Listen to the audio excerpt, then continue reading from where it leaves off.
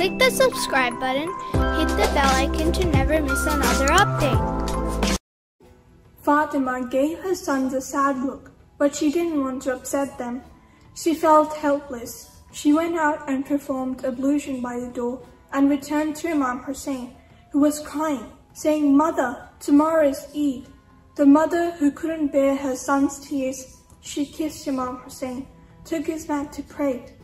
Suddenly, it was as if something had been whispered in her ear. She touched their hair and said, Don't worry, the tailor will bring your clothes. The children jumped up and down happily. The mother began to pray. After the prayer, the boys kept asking about the color and size of the clothes. Suddenly, there was a sound of knocking on the door of Amir al-Mu'mineen's house. Open the door, a voice said from behind the door. I am the tailor and have brought clothes for your sons. He handed over the clothes and disappeared in the darkness of the night.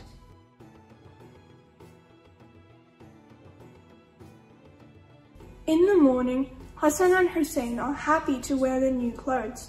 Along with their father and mother, they went to their grandfather's home.